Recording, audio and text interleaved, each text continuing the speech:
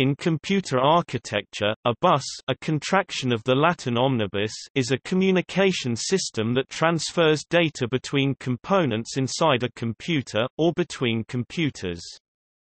This expression covers all related hardware components wire, optical fiber, etc. and software, including communication protocols. Early computer buses were parallel electrical wires with multiple hardware connections, but the term is now used for any physical arrangement that provides the same logical function as a parallel electrical bus.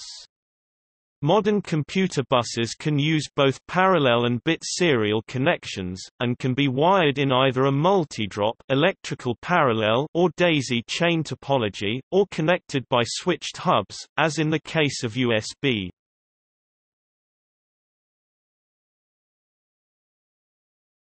Topic: Background and nomenclature Computer systems generally consist of three main parts, the Central Processing Unit CPU that processes data, memory that holds the programs and data to be processed, and I.O. input, output devices as peripherals that communicate with the outside world. An early computer might contain a hand-wired CPU of vacuum tubes, a magnetic drum for main memory, and a punch tape and printer for reading and writing data respectively. A modern system might have a multi-core CPU, DDR4 SDRAM for memory, a solid-state drive for secondary storage, a graphics card and LCD as a display system, a mouse and keyboard for interaction, and a Wi-Fi connection for networking. In both examples, computer buses of one form or another move data between all of these devices. In most traditional computer architectures, the CPU and main memory tend to be tightly coupled. A microprocessor conventionally is a single chip which has a number of electrical connections on its pins that can be used to select an address in the main memory and another set of pins to read and write the data stored at that location. In most cases, the CPU and memory share signaling characteristics and operate in synchrony. The bus connecting the CPU and memory is one of the defining characteristics of the system, and often referred to simply as the system bus. It is possible to allow peripherals to communicate with memory in the same fashion, attaching adapters in the form of expansion cards directly to the system bus. This is commonly accomplished through some sort of standardized electrical connector, several of these forming the expansion bus or local bus. However, as the performance differences between the CPU and peripherals varies widely, some solution is generally needed to ensure that peripherals do not slow overall system performance. Many CPUs feature a second set of pins similar to those for communicating with memory, but able to operate at very different speeds and using different protocols. Others use smart controllers to place the data directly in memory, a concept known as direct memory access. Most modern systems combine both solutions, where appropriate. As the number of potential peripherals grew, using an expansion card for every peripheral became increasingly untenable. This has led to the introduction of bus systems designed specifically to support multiple peripherals. Common examples are the SATA ports in modern computers, which allow a number of hard drives to be connected without the need for a card. However, these high-performance systems are generally too expensive to implement in low-end devices, like a mouse. This has led to the parallel development of a number of low-performance bus systems for these solutions, the most common example being the standardized Universal Serial Bus USB. All such examples may be referred to as peripheral buses, although this terminology is not universal. In modern systems the performance difference between the CPU and main memory has grown so great that increasing amounts of high-speed memory is built directly into the CPU, known as a cache. In such systems, CPUs communicate using high-performance buses that operate at speeds much greater than memory, and communicate with memory using protocols similar to those used solely for peripherals in the past. These system buses are also used to communicate with most or all other peripherals, through adapters, which in turn talk to other peripherals and controllers. Such systems are architecturally more similar to multi-computers, communicating over a bus rather than a network. In these cases, expansion buses are entirely separate and no longer share any architecture with their host CPU and may in fact support many different CPUs, as is the case with PCI. What would have formerly been a system bus is now often known as a front-side bus. Given these changes, the classical terms system, expansion, and peripheral no longer have the same connotations. Other common categorization systems are based on the bus's primary role, connecting devices internally or externally, PCI versus SCSI for instance. However, many common modern bus systems can be used for both. SATA and the associated eSATA are one example of a system that would formerly be described as internal, while certain automotive applications use the primarily external IEEE 1394 in a fashion more similar to a system bus. Other examples, like InfiniBand and I2C were designed from the start to be used both internally and externally.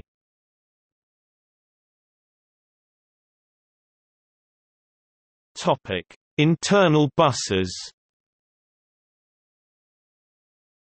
The internal bus, also known as internal data bus, memory bus, system bus or front-side bus, connects all the internal components of a computer, such as CPU and memory, to the motherboard. Internal data buses are also referred to as a local bus, because they are intended to connect to local devices. This bus is typically rather quick and is independent of the rest of the computer operations.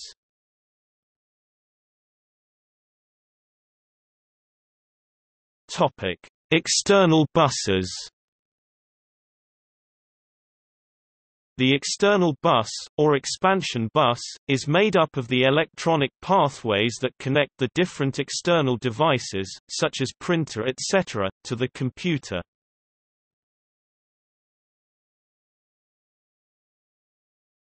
Topic: Implementation details.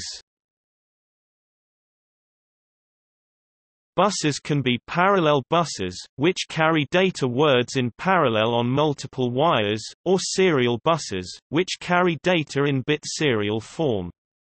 The addition of extra power and control connections, differential drivers, and data connections in each direction usually means that most serial buses have more conductors than the minimum of one used in one wire and uni, O.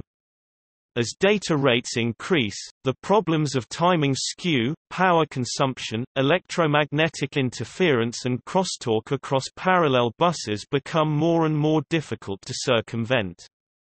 One partial solution to this problem has been to double pump the bus. Often, a serial bus can be operated at higher overall data rates than a parallel bus, despite having fewer electrical connections, because a serial bus inherently has no timing skew or crosstalk. USB, Firewire, and serial ATA are examples of this. Multidrop connections do not work well for fast serial buses, so most modern serial buses use daisy chain or hub designs. Network connections such as Ethernet are not generally regarded as buses, although the difference is largely conceptual rather than practical. An attribute generally used to characterize a bus is that power is provided by the bus for the connected hardware. This emphasizes the busbar origins of bus architecture as supplying switched or distributed power. This excludes, as buses, schemes such as serial-232 rupees, parallel centronics, IEEE 1284 interfaces and Ethernet, since these devices also needed separate power supplies. Universal serial bus devices may use the bus-supplied power, but often use a separate power source. This distinction is exemplified by a telephone system with a connected modem, where the RJ11 connection and associated modulated signaling scheme is not considered a bus, and is analogous to an Ethernet connection. A phone line connection scheme is not considered to be a bus with respect to signals, but the central office uses buses with cross-bar switches for connections between phones. However, this distinction, that power is provided by the bus is not the case in many avionic systems, where data connections such as ARINC 429, ARINC 629, MIL STD 1553B STANAG 3838, and EFABUS STANAG 3910 are commonly referred to as data buses or, sometimes, databuses. Such avionic data buses are usually characterized by having several equipments or line replaceable items, units LRI, LRUs connected to a common, shared media. They may, as with ARINC 429, be simplex, i.e. have a single source LRI, LRU or, as with ARINC 629, MIL STD 1553B, and STANAG 3910, be duplex, allow all the connected LRI, LRUs to act, at different times half duplex, as transmitters and receivers of data.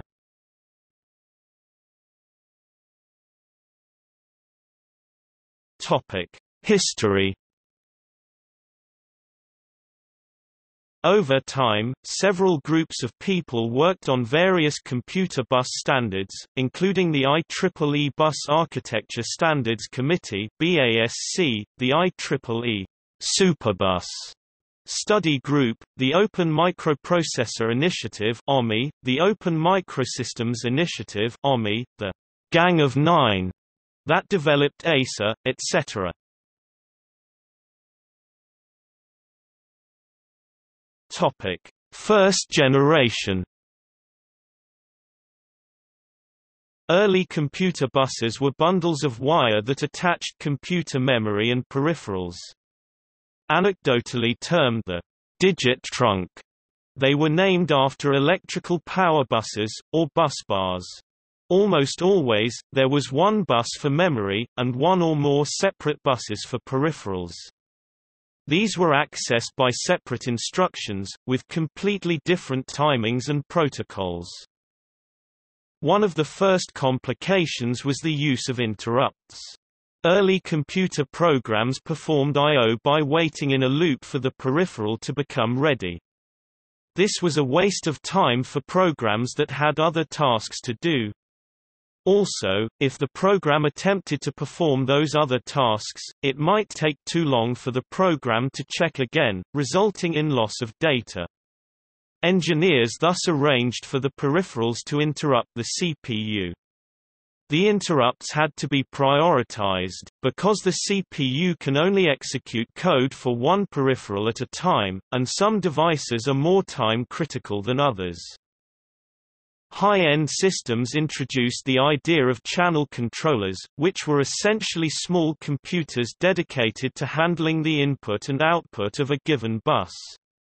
IBM introduced these on the IBM 709 in 1958, and they became a common feature of their platforms. Other high-performance vendors like Control Data Corporation implemented similar designs. Generally, the channel controllers would do their best to run all of the bus operations internally, moving data when the CPU was known to be busy elsewhere if possible, and only using interrupts when necessary. This greatly reduced CPU load, and provided better overall system performance. To provide modularity, memory and I.O. buses can be combined into a unified system bus. In this case, a single mechanical and electrical system can be used to connect together many of the system components, or in some cases, all of them.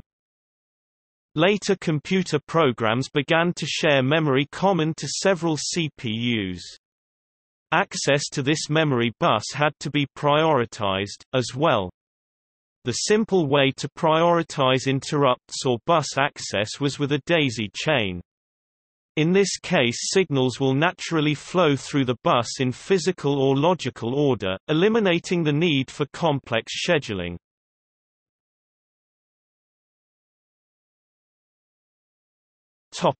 Minis and micros. Digital Equipment Corporation DEC further reduced cost for mass-produced minicomputers, and mapped peripherals into the memory bus, so that the input and output devices appeared to be memory locations. This was implemented in the Unibus of the PDP-11 around 1969. Early microcomputer bus systems were essentially a passive backplane connected directly or through buffer amplifiers to the pins of the CPU. Memory and other devices would be added to the bus using the same address and data pins as the CPU itself used, connected in parallel. Communication was controlled by the CPU, which read and wrote data from the devices as if they are blocks of memory, using the same instructions, all timed by a central clock controlling the speed of the CPU. Still, devices interrupted the CPU by signaling on separate CPU pins. For instance, a disk drive controller would signal the CPU that new data was ready to be read, at which point the CPU would move the data by reading the memory location that corresponded to the disk drive. Almost all early microcomputers were built in this fashion, starting with the S100 bus in the Altair 8800 computer system.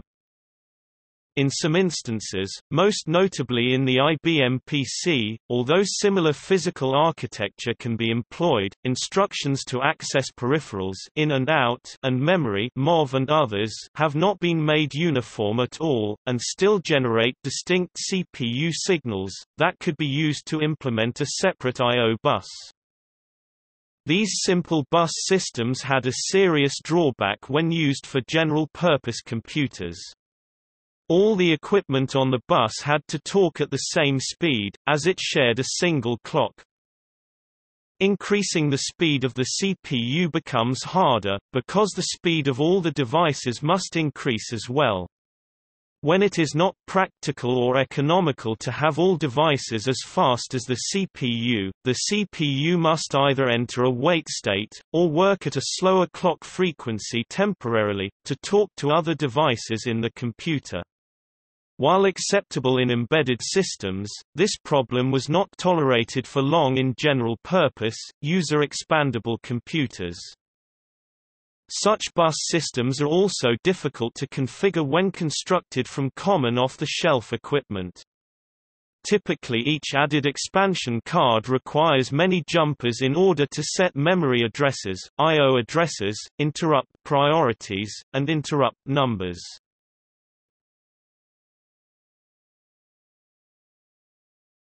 Topic: Second generation. Second generation bus systems like Nubus addressed some of these problems. They typically separated the computer into two worlds, the CPU and memory on one side, and the various devices on the other. A bus controller accepted data from the CPU side to be moved to the peripherals side, thus shifting the communications protocol burden from the CPU itself. This allowed the CPU and memory side to evolve separately from the device bus, or just bus. Devices on the bus could talk to each other with no CPU intervention.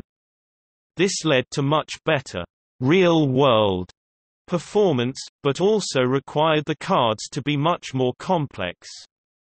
These buses also often addressed speed issues by being bigger in terms of the size of the data path, moving from 8-bit parallel buses in the first generation, to 16 or 32-bit in the second, as well as adding software setup now standardized as plug-and-play to supplant or replace the jumpers. However these newer systems shared one quality with their earlier cousins, in that everyone on the bus had to talk at the same speed. While the CPU was now isolated and could increase speed, CPUs and memory continue to increase in speed much faster than the buses they talked to. The result was that the bus speeds were now very much slower than what a modern system needed, and the machines were left starved for data. A particularly common example of this problem was that video cards quickly outran even the newer bus systems like PCI, and computers began to include AGP just to drive the video card. By 2004 AGP was outgrown again by high-end video cards and other peripherals and has been replaced by the new PCI Express bus an increasing number of external devices started employing their own bus systems as well. When disk drives were first introduced, they would be added to the machine with a card plugged into the bus, which is why computers have so many slots on the bus. But through the 1980s and 1990s, new systems like SCSI and IDE were introduced to serve this need, leaving most slots in modern systems empty. Today there are likely to be about five different buses in the typical machine, supporting various devices.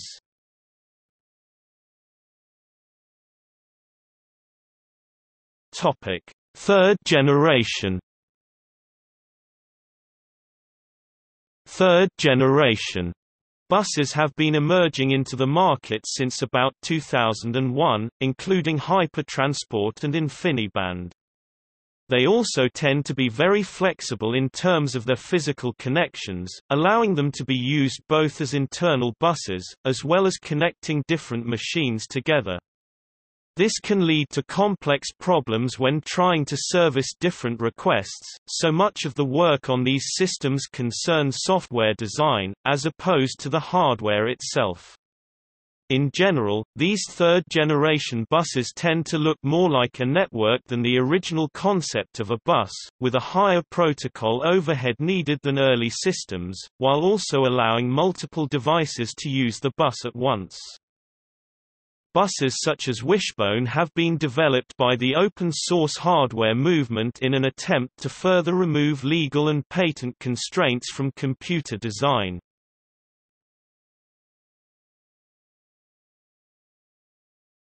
Topic: Examples of internal computer buses.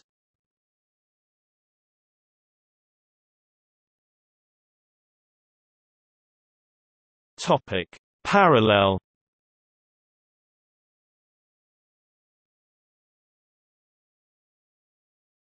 Topic: Serial.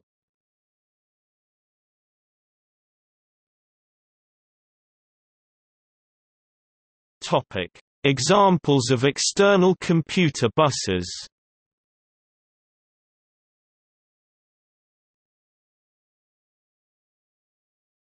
Topic: Parallel.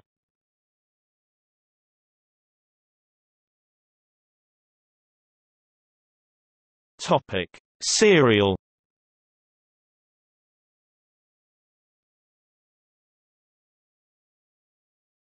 Topic: Examples of internal, external computer buses.